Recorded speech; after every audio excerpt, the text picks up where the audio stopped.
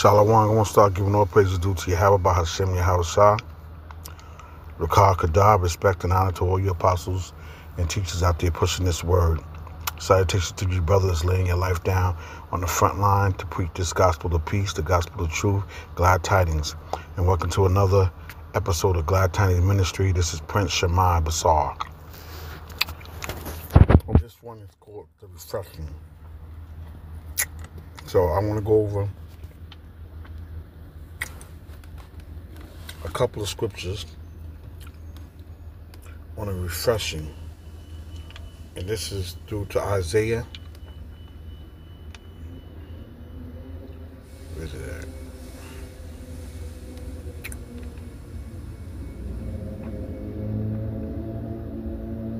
Isaiah 28,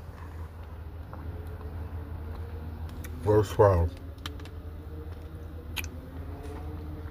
Isaiah 28, verse 12. And I must read this from the NLT, but you can read on the left side of it, the KJV. And it says, The Most High has told his people, Here is a place of rest. Let the weary rest here. This is a place of quiet rest, but they would not listen. So, what is the place? The place of rest. And I did a video earlier, only a five minute video on the conditions of our people for where I work at. And um, a lot of them are homeless. And the name of that video is What Would You Do? What would you do?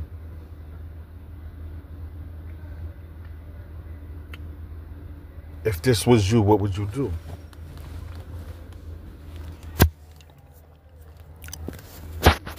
So we have the remedy. Like there's a remedy always for every situation. And when it's concerning our people, the remedy is what? The refreshing of our spirits, the refreshing of our soul. And how do we get that? And that's through the scriptures. It's not just a um, regular book. It is a book of light. It refreshes you. And it gives you, um, and it's a credible book, the most credible book ever in the world. And the most beautiful thing about that is our book. It's our book. Negro book. So-called Latin, so-called black man, so-called men island of the sea, the nation of Israel, our people. Different shades of color. This is our book. And this was supposed to give us a a beacon of light and hope in a time of darkness, is a time of um trouble, which we're coming upon. Jacob trouble um, that the world had never seen before. And we have to ask ourselves, are we ready? So let's read that again. Isaiah 28 and 12. God has told his people, here is a place of rest. Let the weary rest here. This is a place of quiet rest, but they will not listen. So this is a place for quiet rest, but we would not listen. We want to do our own thing, and this is the antidote. So, what happens without an antidote? Or that scriptures that says, without a vision, the people perish. Without an antidote, you'll die. You're going to be broken down. You're going to be really sick. Mm-hmm. So,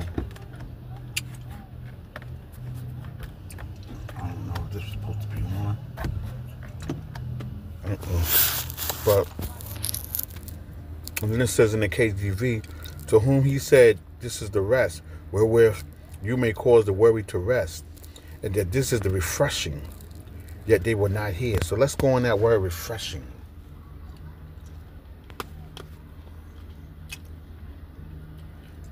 And to me, what brings a corner to my mind, the refreshing is when it says, You are a new creature when you come into your house you are a new man. Then it goes to it makes me wonder about First Corinthians five and seven when it says purge out the old leaven, so the whole lump don't be um, messed up.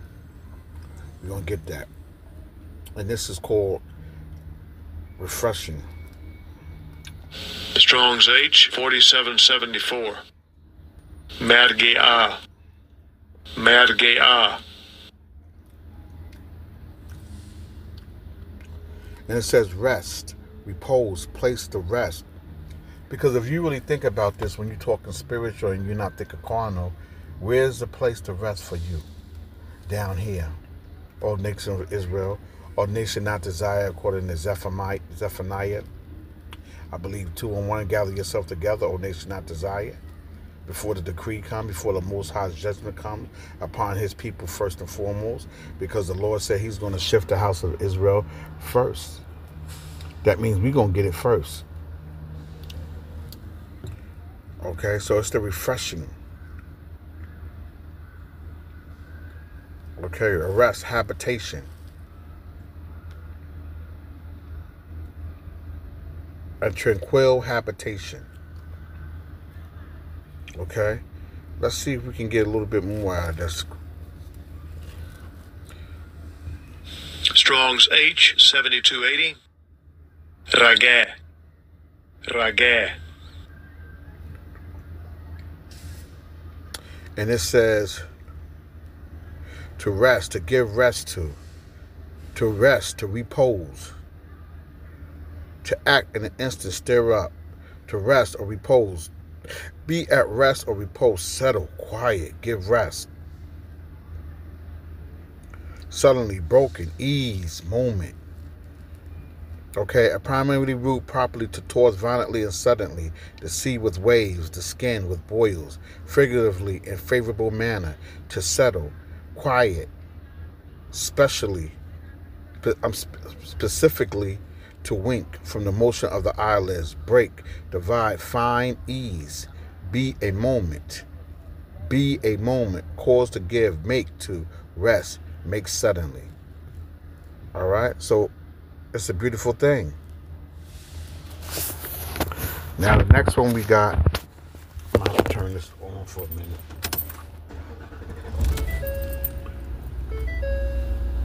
Next one we got is Isaiah 11 and 10. Let's go to that. Isaiah, a precept, Isaiah.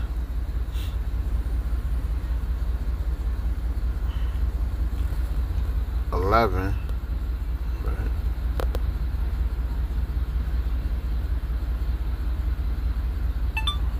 Isaiah eleven, verse ten.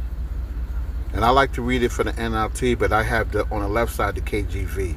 So if you got something to say, look on the, the left side. It says um, 11 and 10. It says, "In that day, the heir to David's throne will be a banner of salvation to all the world. The nations will rally to him, and the land where he lives will be a glorious place." Go ahead in 11. And that day the Lord will reach out his hand a second time, a second time, to bring back the remnant of his people. That's why we tell you this is only for the elect. A remnant of his people, those who remain in Assyria and northern Egypt and southern Egypt, Ethiopia and Elam and Babylonia, Hamath, and all the distant coastlands. He will raise a flag among the nations and assemble the exiles of Israel. Amen. He will gather the scattered people of Judah from the ends of the earth. Amen. That's it. Okay. Now let's go to Isaiah 30 15.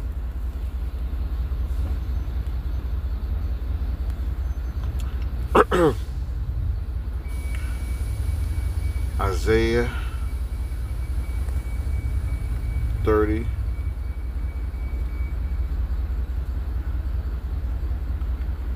15. This is what the sovereign Lord, the Holy One of Israel, says Only in returning to me and resting in me will you be saved. Did you hear that? That's deep. This is what the sovereign Lord, the Holy One of Israel, said says. this is what Yahweh, the Heavenly Father, says. For this is what the sovereign Lord, the Holy One of Israel, says Only in returning to me and resting in me will you be saved. And quietness and confidence is your strength, but you will have none of it. You said, No, we will get our help from Egypt. That's like Egypt is simultaneously um, uh, uh, Israel, um, is, um, Egypt is relating to America, Babylonia, Babylon, Babylon. I'm sorry. Okay, these are places of not rest. These are places of hardship, bondage. These are place, uh, places where we are been oppressed. Okay, and it says, and it says another scriptures. It says that go get your help from Egypt. But some put their hope in chariots and horses, but we put our hope in the Most High. Okay, so what, look what does it say? You said, No, we will get our help from Egypt. They will give us swift horses for riding into a battle, for riding into the battle. But the only swiftness you are going to see is the swiftness of your enemies chasing you. See that? So that's Isaiah 30 or 15. We got to read that again, man. I want you to meditate on that, ponder over that. This is what the sovereign Lord, the Holy One of Israel, says Only in returning to me and resting in me will you be saved, and quietness and confidence is your strength. But you have none of it, right? Because you don't have your faith in the Most High.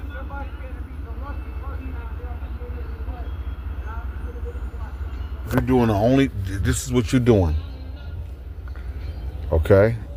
So this is what we got to do. He said, You ain't going to get no rest until you rest in me. And this is why the condition we were in to we're not even seeking in the most high.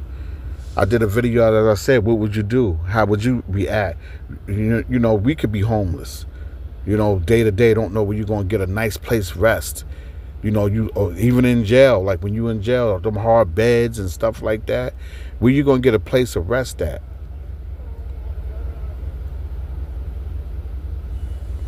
And we about this is this is bondage for us. This is hardcore. This is slavery again, but this time without the chains. And first, the real slavery is in your mind. All these doctrines that they gave to us, the doctrines of devils. Give me Jeremiah six and sixteen. Jeremiah six and sixteen. It's not going to be long. I'm going to make it quick. Jeremiah six and sixteen.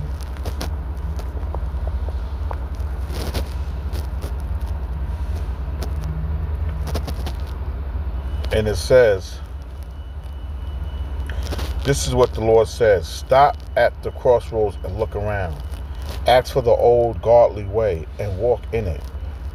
Travel its path, and you will find rest for your souls. But you reply, No, that's not the road we want. Ooh. Ooh. that's not the road we want. Read it again. This is what the Lord says Stop at the crossroads and look around. Ask for the old godly way and walk in it. Travel its path, and you'll find rest for your souls. But you reply, No, that's not the road you want. Oh, this is deep. Give some more meat. I have posted watchmen over you, over you who said, listen for the sound of the alarm. And you know, watchmen in the old ancient days that it would give a warning to when the enemies come. So we're the watchmen for the modern day our people today, spiritually, giving the prophets and prophetic judgment that's supposed to come to this to America, who you ignorantly call, um, which is spiritually called Babylon and Egypt. Okay, where where bondage is at, where, where hell is at, where we catch a hell at. So we the watchmen and say, get gather yourself together, O nation not desire. Get yourself right before the Lord decree come. But they said we don't want to walk that way. We want to do our own thing. Okay, keep it on. Okay, let's keep going. This is beautiful. Start at 17 again. I posted watchmen over you who said, Listen for the sound of the alarm. But you replied, No. We want we won't pay attention. Therefore, Listen to this. All you nations, take note of my people's situation. Of my people's situation. Okay? I will bring disaster on my people. Look at that. It is the fruit of their own schemes because they refuse to listen to me. They have rejected my word. There's no use offering me sweet frankincense for, from Sheba. Keep your fragrant calamus important from distant lands. I will not accept your burnt offerings.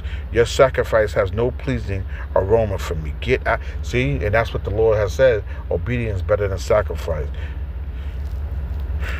Therefore, this is what the Lord says I will put obstacles in my people's path. What? Therefore, the Lord's therefore, this is what the Lord says. I will put obstacles in my people's path. Therefore, this is what the Lord says. I will put obstacles, stumbling blocks in my people's path. Fathers and sons will both fall over them. Neighbors and friends will die together. That's it, man. Jeremiah 6 and 16 go all the way. Let's read on. Now, let's go to the remedy that I first gave you, the remedy that the Lord is telling you. Let's go to Matthew 11 28.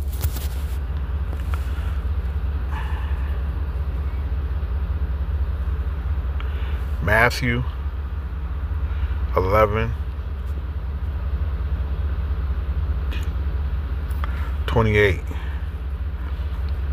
Then Yahweh has said, Come to me, all of you who are weary and carry and heavy burdens, and I will give you rest. Rest. Let's go to weary. I know what it means, but let's just break it down.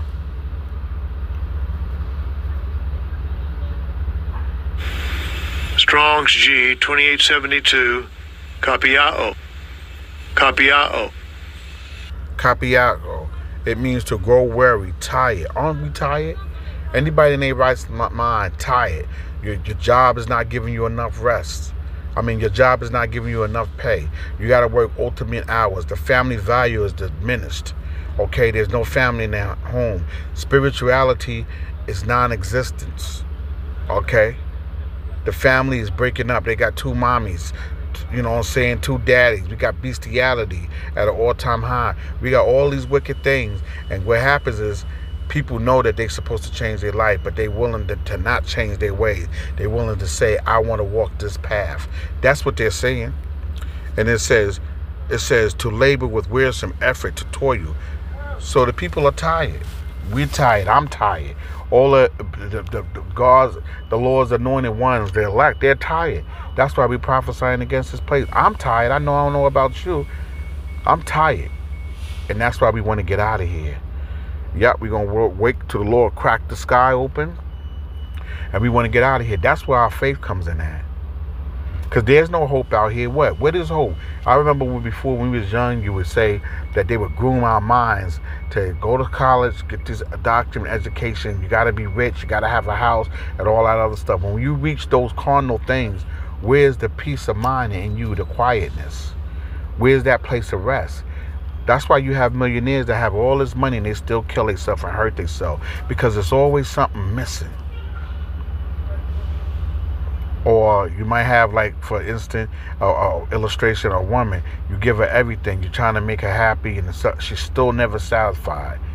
There's no place of rest. They, they still, it's something void in their spirit, and that's this word. It's something void in their life, and that's this word. They just can't get it right. And we showing you, the Lord is showing you how to get it right.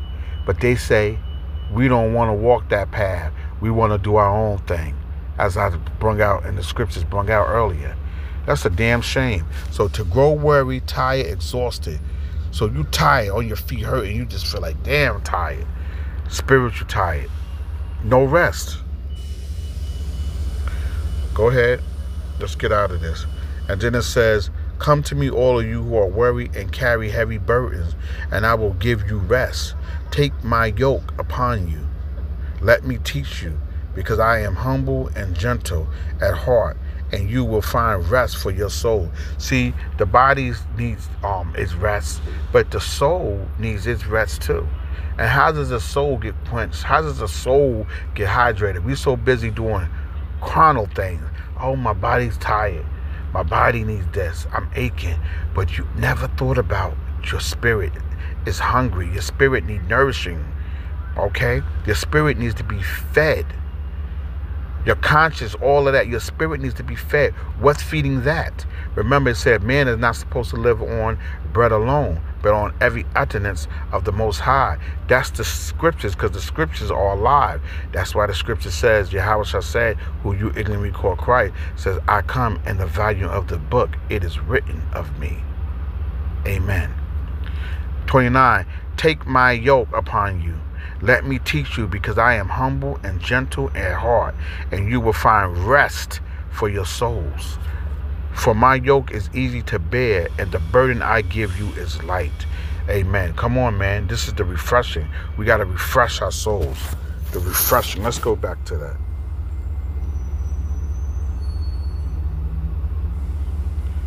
The refreshing. Amen. Shalom. That's it. The refreshing.